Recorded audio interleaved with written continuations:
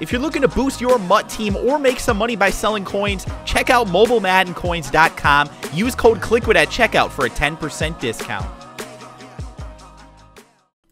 Hey, what is happening, guys? Kliquid here, back again with another Madden 17 ratings reveal video. And guys, today what we're going to be taking a look at are the top five strong safeties to start the season in Madden 17. I know I'm a day or so late on this one, guys, so I apologize. It's been kind of a crazy weekend and uh, early start to the week, but I did want to bring this to you guys because I know a lot of you guys have been commenting on my videos uh, for the top five players at their various different positions. I think we're having good discussions in the comment section, so let's keep that up today as well. Now, the other thing, guys, that I want to point out, as usual, is that these are not their ultimate team ratings, so don't get that confused. These are just the ratings that they're going to have to start the season for your standard head to head modes and your franchise mode, things like that. So uh, don't be looking for these to be their Madden Ultimate Team attributes. They're probably going to be kind of in line with this, but we don't necessarily know that for sure. So, with that being said, guys, let's go in and let's take a look at the top five strong safeties to start the season. Starting off at number five, and we've got the Green Bay Packers, Morgan Burnett. 85 overall. Now, this is actually quite low for a top five guy. It just goes to show you how kind of thin the strong safety position is right now in the NFL, or at least how they're being rated in Madden. I mean, a lot of these guys are going to be kind of low in comparison to what we've seen at pretty much every other position. But Morgan Burnett's a decent player here. Uh, I think there are some areas where he's pretty mediocre, though. Take a look at the speed and the acceleration 87 speed, 89 acceleration totally acceptable for a safety. I mean, if that was a coverage corner, we would be a little bit worried about that.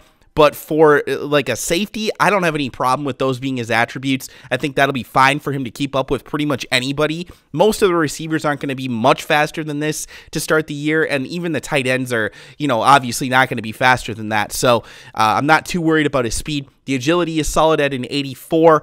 Man coverage, though, 75. I mean, granted, now I'm not going to say it's too bad because it's actually the highest of any of the guys on this list, tied for the highest, I should say. But it doesn't seem that high, does it? And then you take a look at the zone coverage being an 83, and that definitely seems low. But again, it's actually the second best of any of the guys that we're going to look at today. So Morgan Burnett, despite those attributes really not being that high, is kind of considered to be a, a coverage safety. So I mean, you can definitely go in and, and assume that he's going to be the guy that you're going to want to kind of line up against the opposing team's tight end, just like he does in real life. Uh, he can also cover guys in the slot, though, uh, at wide receiver. So he's versatile. We do like that. And uh, like I said, guys, he is the first one out of this list for the top five strong safeties in Madden. Now moving on to number four, and we've got a guy that pr- played for the Super Bowl champions, or continues to, I should say, TJ Ward. He didn't go anywhere. So uh, this one now is a- an interesting one because I think that he, I believe, is the quickest of any of these guys. Yes, he is. So he actually has 88 speed along with 91 acceleration. So uh, he is the p- fastest pure speed guy on this list today. I don't know that he's actually going to be the fastest in the game. Uh, there might be some guy that's like a, a gold or a silver or something like that in Ultimate team that might have better speed, but for the most part, among the good safeties, TJ Ward is going to be among the best. Now, what's interesting here is that despite the fact that he's pretty quick, his coverage attributes are not that great. 70 for man coverage. I mean, that is pretty darn bad. It really is. That's the second worst among any of the guys that we're taking a look at today. 82 zone coverage isn't spectacular either, so that's nothing to be really too excited about. It's not horrible, again, uh, but it's not great. So uh, the thing about TJ Ward and what they say in his little description on the Madden Ult- or the Madden website, I almost said Madden Ultimate Team, but on the Madden News website, is that he's going to have really good attributes for playing the run which makes sense. He, he's a guy that can definitely do that, move up into the box and play against the run. So you like to have the speed and the acceleration to kind of bust through the line and make plays in the backfield. So that's something that he's going to be very good at. And I love the fact that he's got good speed and acceleration because if I'm usering him, even though he has those kind of mediocre, you know, decent attributes for coverage, I'm still going to be able to make the play myself. So that's one thing that I definitely do like about TJ Ward.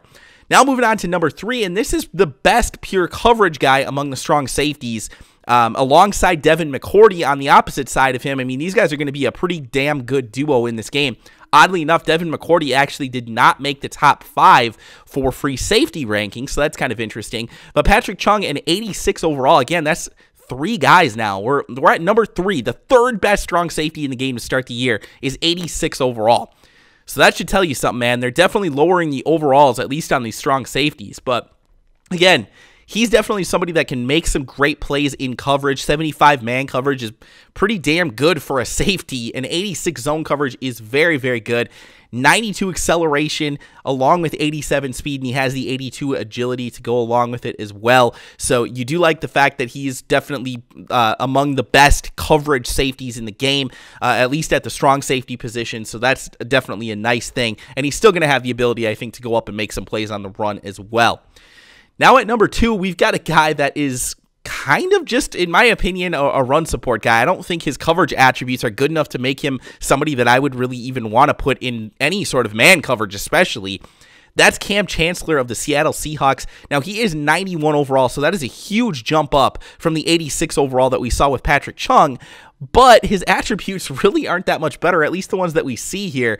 87 speed and 87 acceleration, solid enough, not anything spectacular. 83 agility is right in line with everybody else, but that 67 man coverage is mediocre, dude. That is like the worst of any of the guys that we've seen so far by quite a bit, actually. It's three lower than even TJ Ward, and his 79 zone coverage is also three lower than TJ Ward, who is the other guy who's pretty damn bad in zone coverage. So, I don't know, man. I think Kam Chancellor's getting the kind of the shaft in this one, despite the fact that he's a 91 overall. Those attributes are awful. What do you guys think? Let me know in the comment section below. I don't think that he's like particularly bad in coverage, so I think it's kind of interesting that they gave him such low attributes there.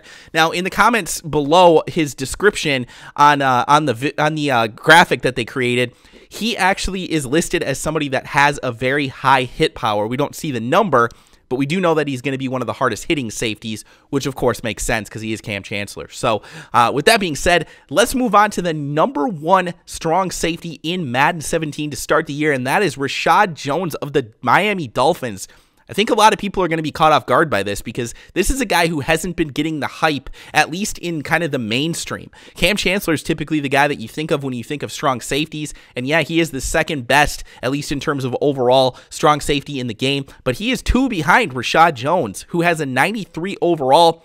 87 accelerate or 87 speed, excuse me, 89 acceleration with an 86 agility. His 86 agility is actually the highest of any of these guys. Uh, and the 87 speed and 89 acceleration is a good combination as well. It's not the highest, but it's definitely acceptable. Uh, but you take a look at the man coverage and zone coverage again, not really that great little bit better than Kam Chancellor, kind of pretty much right in line with TJ Ward. Um, so it's really not anything to be excited about as far as his coverage goes. But he's definitely a guy that can go up and make plays on the run as well. And the great thing about him is that I think he's probably going to be the most balanced strong safety in the game because he's going to be able to play against the run and he can still go back there with the decent speed and the acceleration and things like that. And I expect that he's going to have very high play recognition and very high awareness as well. So hopefully that'll kind of make it so that you don't have to use or control him on defense and he'll be able to make plays on the football. But guys, with that being said, those are your top five strong safeties to start the season for Madden 17. If you guys enjoyed this video, please help me out by pressing the like button below. And of course, subscribe to the channel if you're new as well. And guys, I want to hear from you in the comment section below. Let me know.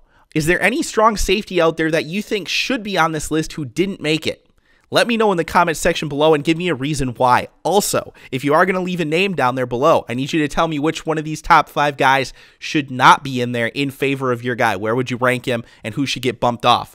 With that being said, guys, that is going to wrap up the video. Thank you so much for all the support. Hope you enjoyed it. Again, drop a like and subscribe if you're new, and I will talk to you guys again soon.